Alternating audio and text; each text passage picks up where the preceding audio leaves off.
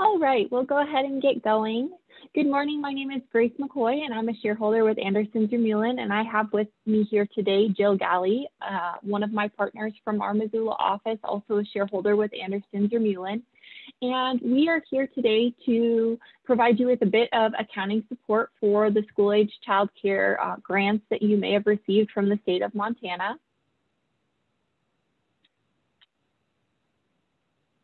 Our objectives today is hopefully by the end of this uh, short presentation, you will understand some grant accounting basics. We'll share with you some general tips and tricks. Uh, we'll discuss general ledgers and also provide you with some accounting support for scholarships, um, tuition reimbursements.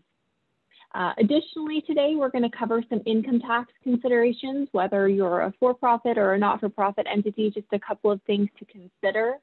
Before we begin today, I just want to make sure everyone is aware this presentation is not authoritative and is based on the information um, available as of today. Uh, we are here at providing you with some guidance based on our understanding of this program, the information of, available as of today. Um, Anderson ZurMuehlen itself is not a regulator. We don't administer the grant. Um, so we're just doing our best to interpret this information and provide you with guidance. If you have specific questions regarding your grant or whether something would be allowable or not allowable, you know, please work with the granting agency. Um, they are the folks that have, who are authoritative and have um, the authority to make uh, those decisions. So before we jump into the accounting basics, uh, just a quick refresher on this program. The site does, or the state does have a site dedicated um, to these programs. I'm sure you all are very aware of that. Uh, the state has indicated that this funding should be used to provide free or reduced price childcare for school-aged children uh, to fully compensate staff and to mitigate costs incurred to provide healthy, safe environments. So that's kind of the main focus of this grant. Please keep that in mind through, throughout this presentation. Uh, eligible expenses. This is going to be on a case-by-case basis. You need to look at your specific grant contract with the state of Montana. Uh, there's also federal coronavirus relief fund FAQs, uh, Department of Health and Human Services FAQs regarding this program. Uh, those are going to guide you, uh, but please make sure you're looking at your grant document um, just because a, uh, an expense is allowable for one organization doesn't mean it's allowable for all organizations. Um, some of the general allowable expenses um, that may be in your grant agreement would be payroll, supplies, equipment, rent, utilities, uh, training, fee offsets or scholarships. And so those are the ones that we're going to focus on in our examples. But again, please make sure that you're working closely with the granting agency, looking at your grant agreement for expenses that will be eligible for you. Um, the period of allowability is March 2020 to December 2020, but again, make sure that you're looking at your grant agreement for your specific period of availability. So jumping right into some grant accounting basics. We're going to start off with some just general tips and tricks. And some of these are going to be refreshers from information that's probably already been provided to you, but really important to understand no double dipping. This includes funds received through the PPP loan program, through the business stabilization program, through any other federal or state program that you've received funding. If you have an allowable expense, for example, payroll that you've charged to the payroll protection or the PPP loan program, you cannot utilize those same salaries and benefits as allowable expenses under this program. So it's going to be very, very important that you understand that and you're using separate expenses for each and every program. Uh, documentation is key. It's going to be important to retain all of your receipts. While you're not required to provide all of those receipts upon submitting your report, uh, the state of Montana could certainly come in as part of their subrecipient monitoring and ask you to provide those receipts. So very important that you retain all of those receipts. Uh, very important to document key decisions. Um, if you do decide to, uh, you know, issue hazard pay or um, you are going to uh, make some changes to your space to make it more safe for the COVID environment, you're going to want to make sure you document the decisions you make and why you made those. That will be very important. Also document inquiries and responses with the granting authority. If you do have a specific question, um, I, I, know the granting authorities are, are quite busy right now, and so you may not be able to get a response, but if you have a specific question, you know, um, and you do get a response from them, make sure that you re retain that documentation um, in your files. Prepaid expenses are not allowable. For example, if you pay January rent on December 30th, that is not an allowable expenditure. You will be required to return those funds. Uh, if you have um, a cell phone that you could prepay for a whole year. Again, you're not going to want to, you, you, cannot prepay your cell phone for a whole year. Um, even if the expense, you know, such as rent or utilities would be allowable, you cannot prepay those expenses. So something very important to keep in mind, the expenses um, need to be incurred um, related to a, a period that's already happened prior to December 30th. Uh, all pay, included ha ha including hazard pay, should be run through payroll. Um, this is just a general federal guideline. There, there is a, a very small de minimis um, amount, but especially with this grant, we would highly suggest that all hazard pay bonuses run through payroll. Um, there are some accounting considerations that you should be working with your, your payroll um, provider with on that. Um, but in general, it, it's really important that you run that through payroll. Also monitor uh, reporting requirements and deadlines. Uh, most of you have already hopefully filed your interim, interim reports. Final reports, I believe, are due in January. Make sure that you're closely monitoring these deadlines um, to avoid, again, any uh, potential scenarios where you may have to return funding or maybe uh, on the naughty list for future grants or future funds.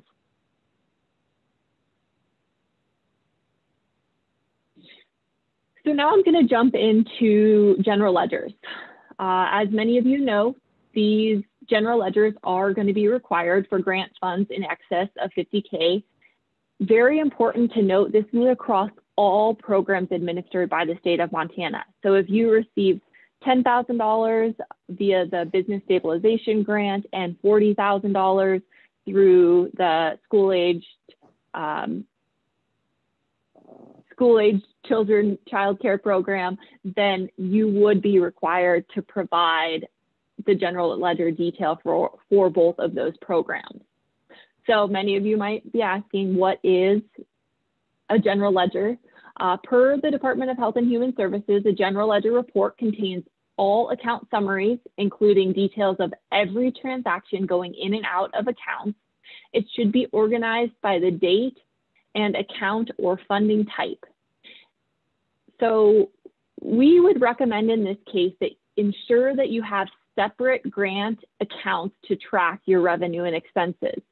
This could also be done via class in QuickBooks, but at a minimum, uh, at a very minimum, you could track it by class but we would highly recommend that you have separate grant accounts to track both the revenue and expenses associated with the grant.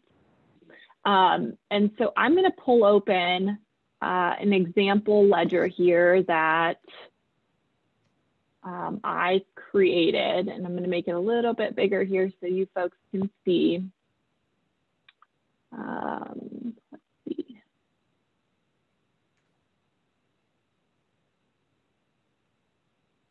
Okay, so this is a general ledger that um, I created.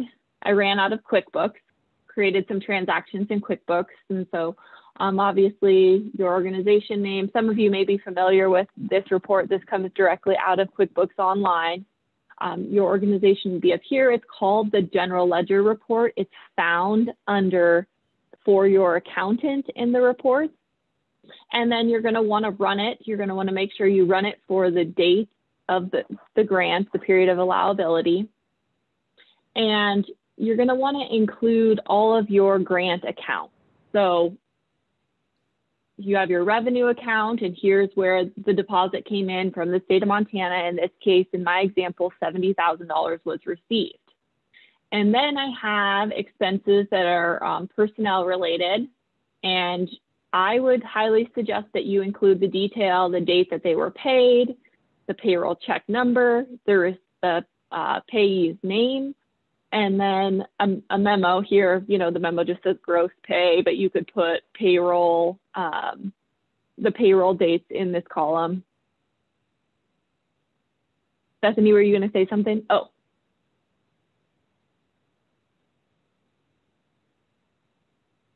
Okay, and, and then, you know, the, the payroll amounts here.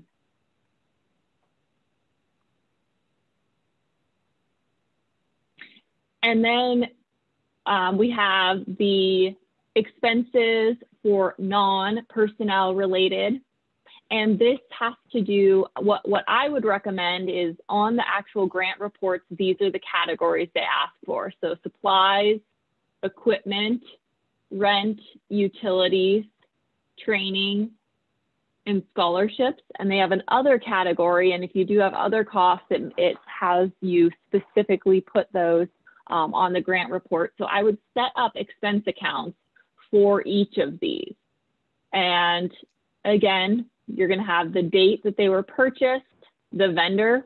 You know, I use the examples of Amazon, Target, Rosauers, and then a description of, of what you bought there. So cleaning supplies, hand sanitizers, math workbooks, breakfast snacks, etc., and then the amount. And so again, the state wants to see the date, the vendor, a description of the expense, and then of course the cost.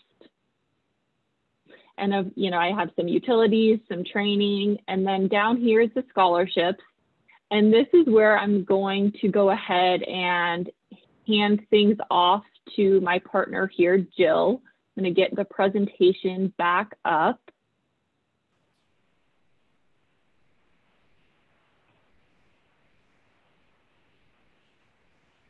And she's going to talk about specifically accounting for um, scholarships, tuition offsets, refunds, etc. Thanks so much, Grace. So, as Grace mentioned, the intent of this program really was to provide, you know, access to care at a reduced rate where possible. Um, oftentimes, there's been a little bit of misconception on what is considered lost revenue versus these discounts or scholarships that have been um, that have been put forth to your program participants.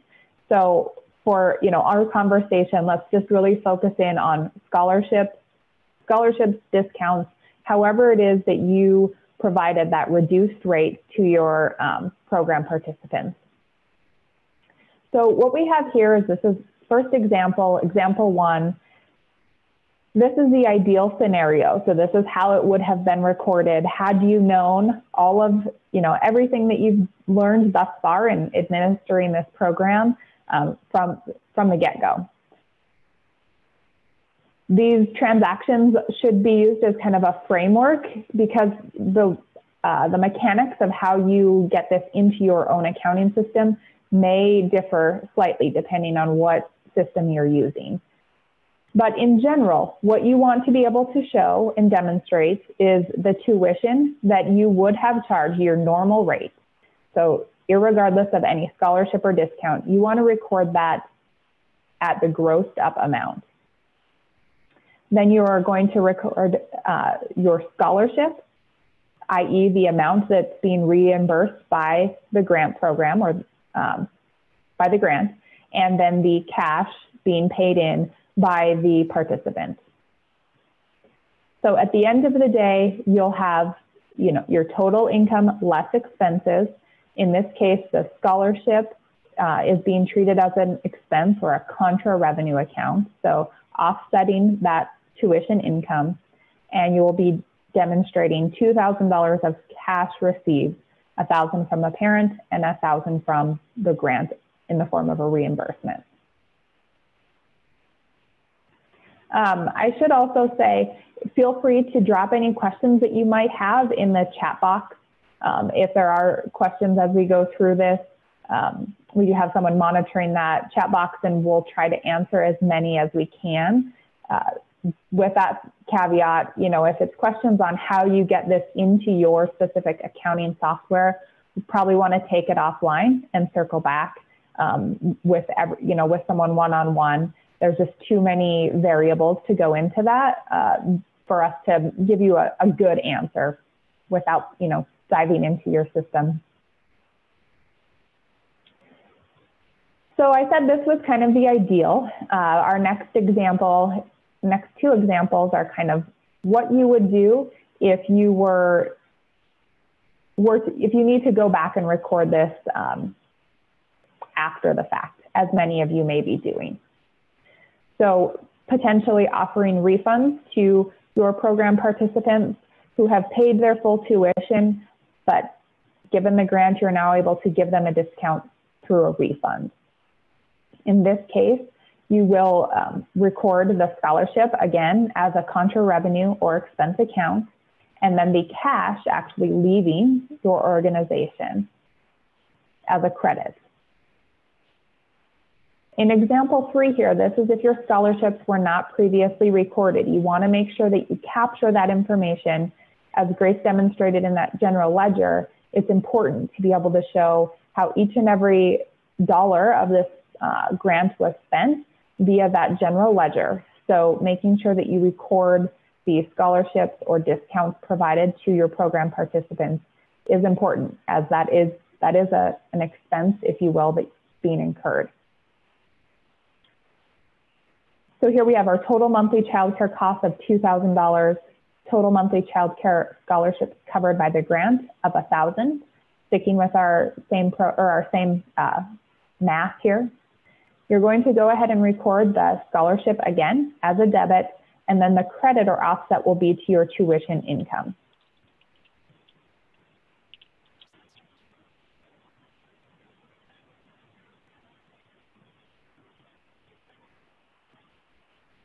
Can forward to the next slide, please. Okay, so the other thing we want to mention, income tax consideration. So um, a little misconception. Some of you may be working in a nonprofit arena.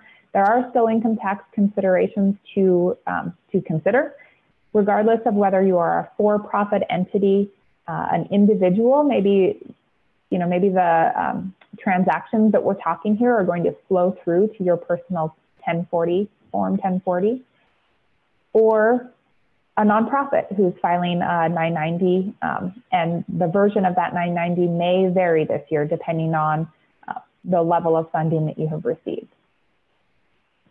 So per montana.gov, financial assistance being funded through the CARES Act, the receipt of a government grant by a business is generally not excluded from the business's gross income under tax code and is therefore taxable. So very important to information to remember as a for-profit entity. This, these proceeds are in fact included in your gross income subject to income taxes. If you are a nonprofit entity, there are some other considerations to uh, keep in mind. Depending on your level of gross annual gross receipts being received during the year, you know, you may have historically filed either the 990N or 990EZ. Both of these forms are, you know, fairly straightforward and simple enough to prepare, particularly if you're used to preparing those year over year. However, uh, depending on how much funding you have received during the year, you may have been bumped up above the threshold that allows you to file those more simplified forms. So if you find yourself in that situation, you will need to file the full 990 form. Now, this form um, is much, much more voluminous than the other two forms, and there's a bit more, um, well, not a bit more, there's a lot more information that the government will be requesting through that form. Other consideration to keep in mind, these forms are all subject to public disclosure.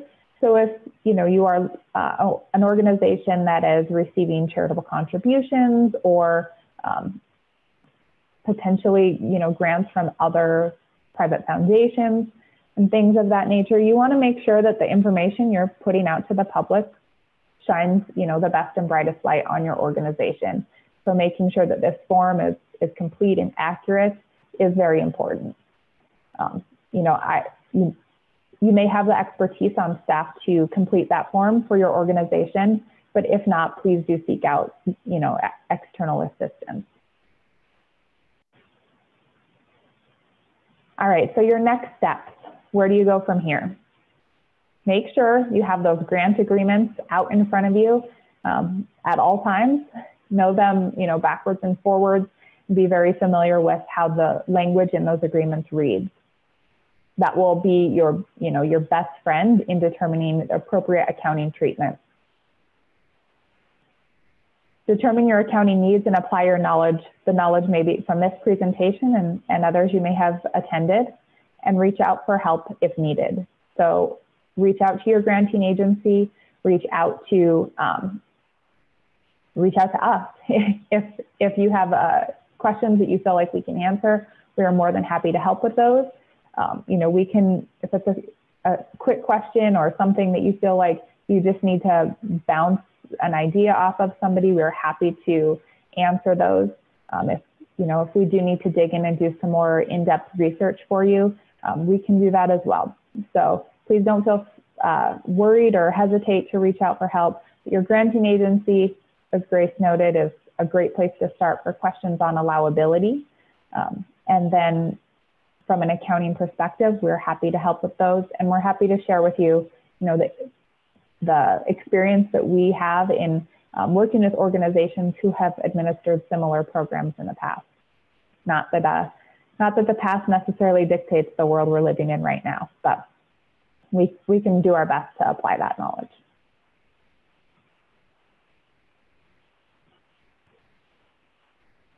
So at this time, we can either um, you know, open the chat up if any questions have come in through the chat or question, question and answers, or we're happy to take them, you know, if you're comfortable unmuting your line, uh, we're happy to field those questions now. Um, again, you know, there may be some instances that we need to recommend we take offline and, and dive into on a one-on-one -on -one basis, but uh, we can do our best to answer as many as we can.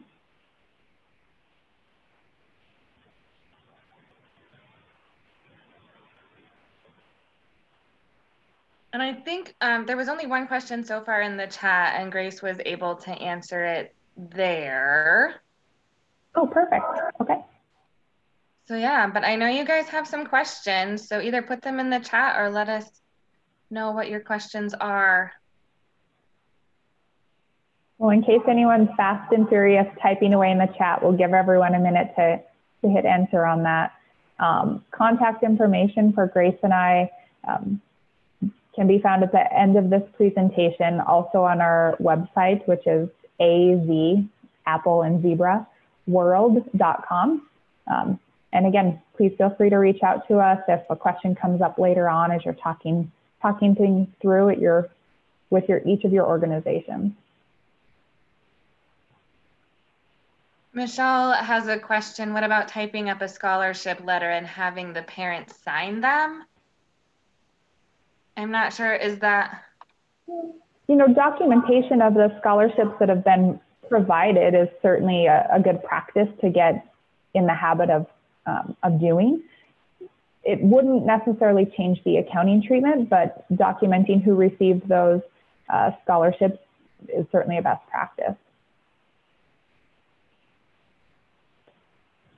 And I want to hear more about how we can use gift cards with this grant money and where that falls within the accounting aspect. I can um, say we are going to put on our frequently asked questions some different ideas around what you can use the gift cards for. The biggest caveat is they cannot be spent. They have to have some sort of stopgap that they can't be spent on either um, alcohol or tobacco. And as to the accounting aspects, I will let Jill and Grace take that. Yeah, um, you know, it would probably depend. I, I'm, I guess not having known historically what conversations have been had surrounding gift cards, um, you know, they would just be treated as, as an expense uh, like any other purchase. There are some considerations if those gift cards are being provided to employees. Um, the IRS has set a de minimis threshold, but they may be considered wages. So you want to take that into account if that is your intention on using them. Um, you know, the state has also provided some pretty uh, clear language that prepaid expenses are not allowable under this program. So if, you know, if you're intending to, you know, go buy $200 worth of gift cards for Costco so that you can stock up on hand sanitizer in 2021, that, you know, I personally would not recommend that. That's just my personal opinion. Um, so again, not having been part of the historical conversations, I'm not sure if that's anywhere close to where, where the question's coming from, but. Yeah, this is, I think I saw on your FAQs, Stephanie, this was something that you guys had addressed and I had the same concerns as Jill had. Um, it sounds like maybe you've worked that out with the state though. So um, I, am not sure, but I, I, you know, certainly wouldn't recommend that. Um, yeah, that I know it's it's kind of it's kind of a fuzzy area, and we can seek out more clarification. That was guidance that we got from the state was that gift cards were an allowable expense so long as they were not used for tobacco or alcohol. But I can certainly seek out further guidance and make sure um, that we're on the right track. Yeah, I would just remember the focus of this program is to pr provide free or reduced childcare and to pay your staff and to cover any expenses kind of above and beyond what your original expenses would be given the pandemic.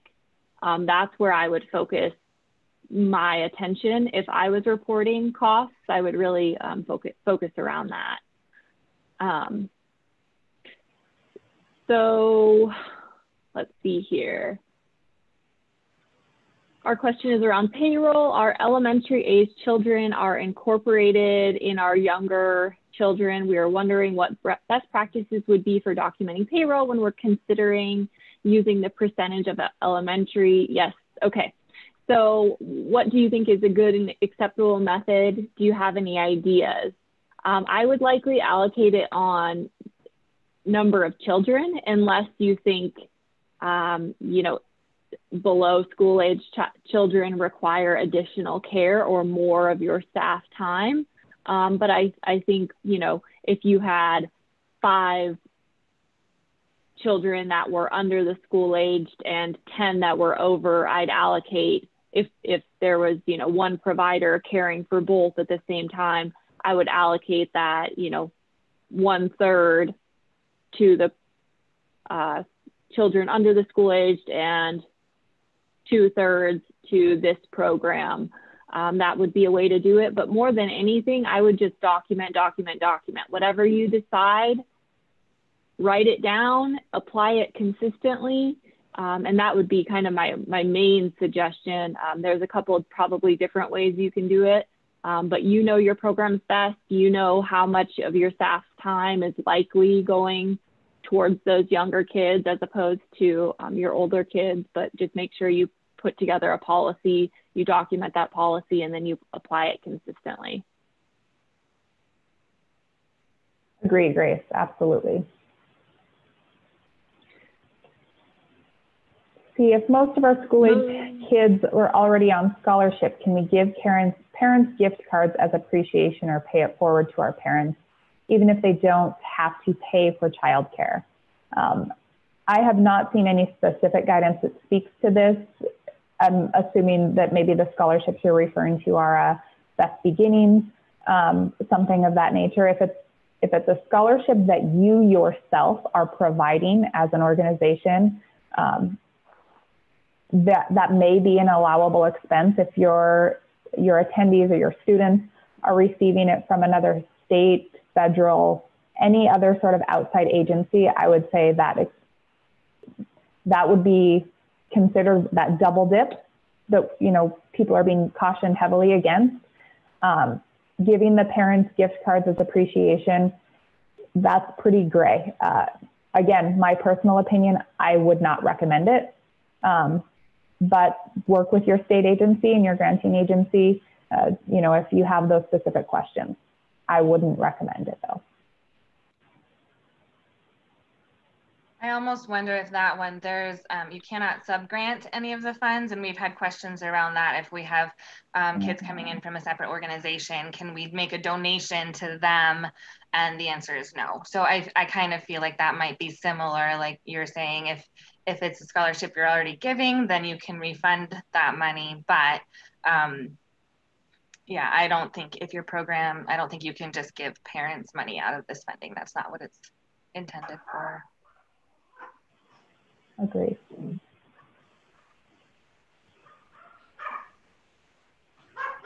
Um, what about items that are received after the first of the year and have been on back order for months?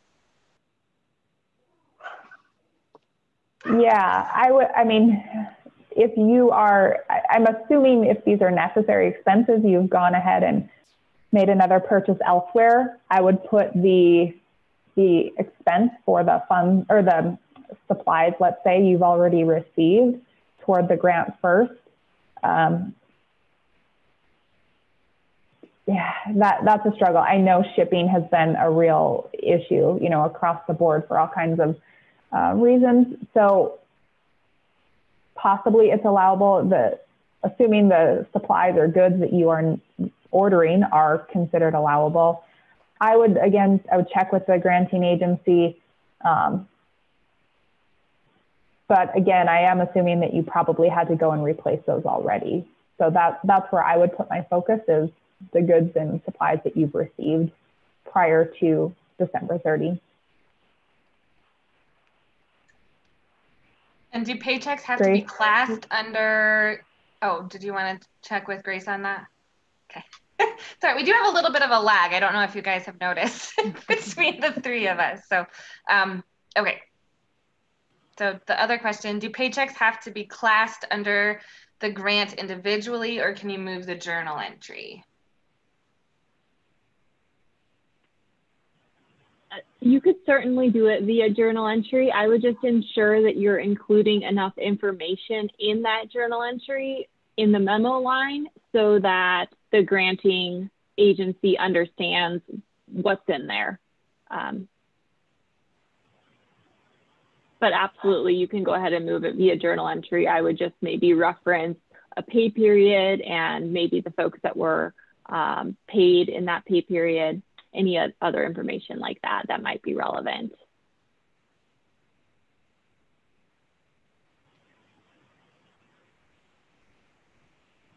Is it okay to apply administrative support staff payroll to grants to this grant for their indirect work running the programs? The executive director, operations, finance director, et cetera, or should we just use the percent method?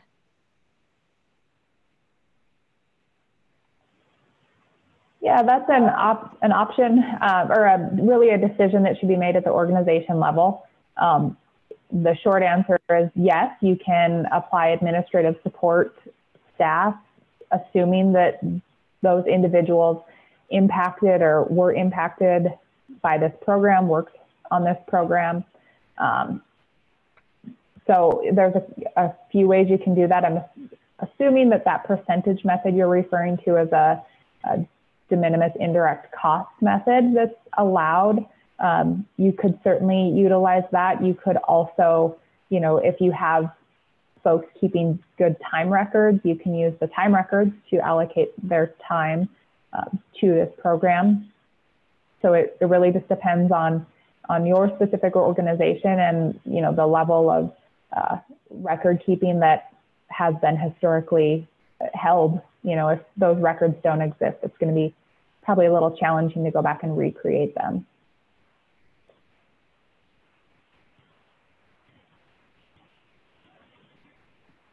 Um, if we invited some kids to see a show without paying, uh, giving them comp tickets, can we count those kids as participants in our program even though no money changes hands towards us or towards them? I'm I think gonna we say- need a little bit more information on the program.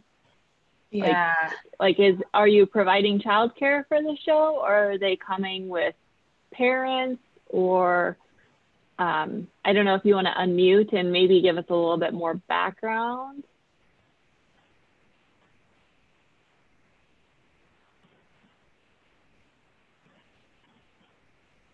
Naomi, did do you want to speak to that, or do you want um, to connect with one of us offline?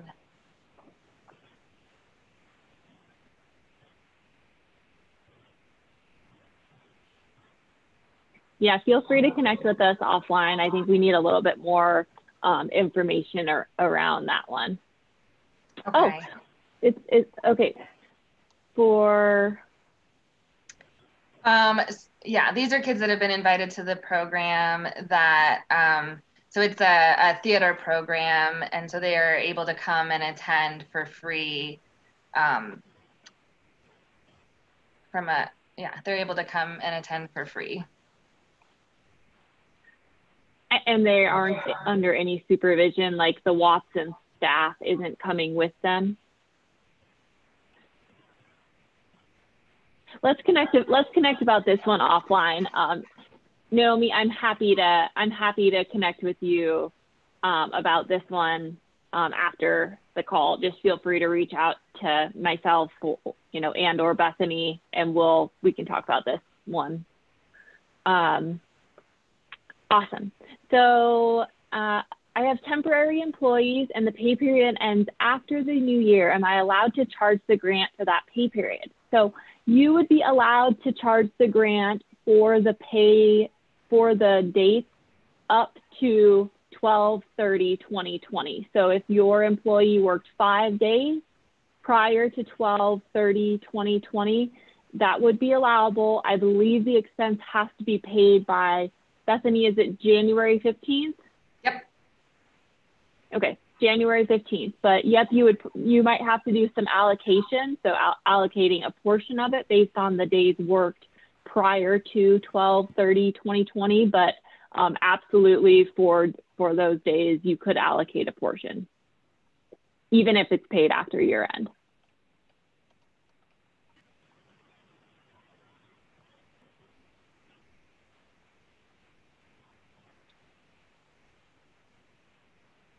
other questions. We have probably time for just a handful more and then we'll let you folks kind of get on with your day. And again if you have specific questions um, or need help you know putting together a gl or setting you know setting it up so you can you know classify certain expenses um, please feel free to reach out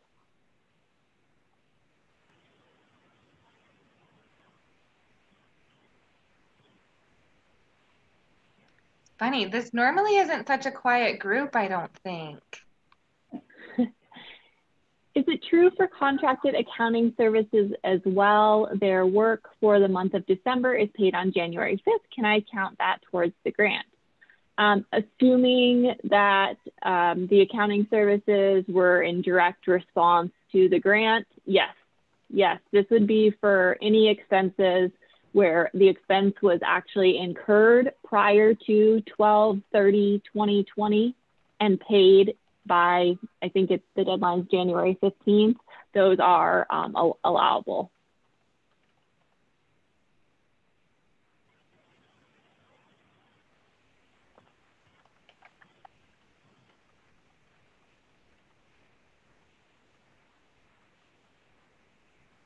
I, I know, um, we, And- oh, go ahead. No, I was just going to mention, um, you know, I know you're going to be posting um, a copy of the presentation and the recording. Um, just wanted to make sure everyone knew that because I'm not sure I ever answered that question.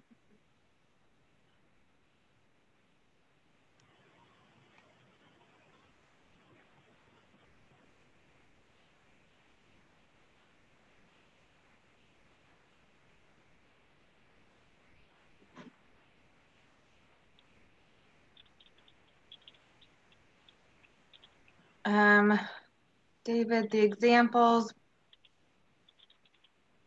Oh, like um, the examples, the sample general ledger that Grace showed. Is that your question, David? Okay, Grace, is that something that you can send me and we can put up on our page as well?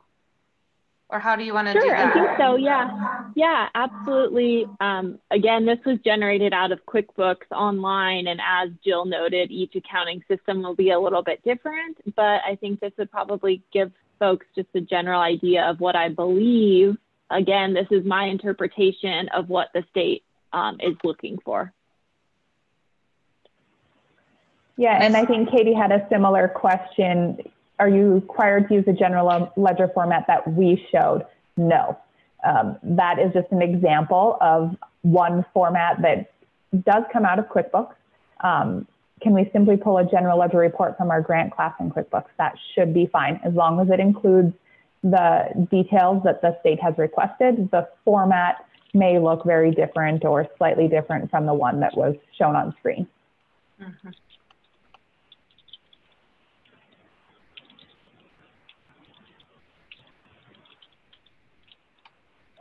Um, Tracy, just seeing your question here. Let's see, we could not book tuition via scholarship since the grant funds were used to run the program and basically replaced the tuition funds uh, we normally would have collected. Um,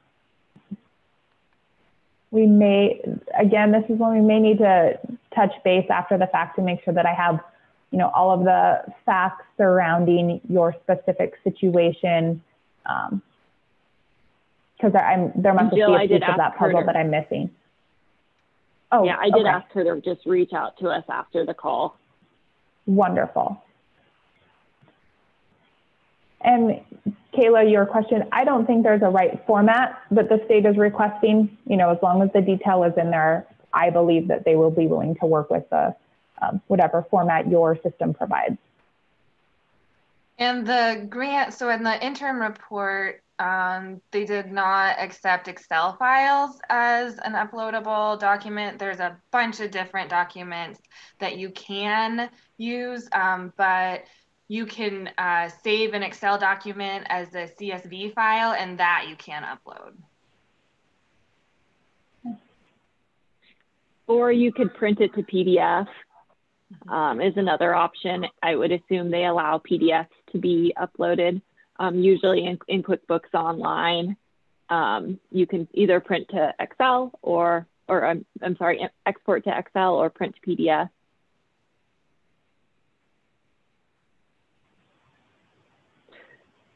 If the state decides our general ledgers are lacking, I'm assume they'll just ask for further detail. Uh, I am I'm not sure how the state would handle this. Um, I certainly wouldn't uh, recommend providing less detail and hope that they follow up with you. Uh, I don't think you ever want to be on the list that they're following up with. Um, I mean, not that anybody has anything to hide, but um, you know, again, it'll be part of the subrecipient monitoring process. And I, I don't know that, um, you know, one request could turn into multiple requests, could turn into reviewing all your documentation. And I know all of you kept all your receipts and that's not going to be a problem, but just, you know, sheerly uploading them and, and providing that detail could, could be timely. And so um, I, that might be what this, they, the state does. They might just ask for um, a general ledger with more detail, but I would um, highly recommend including the components that they had requested, which is the date, the amount, the vendor, and a description of the expense.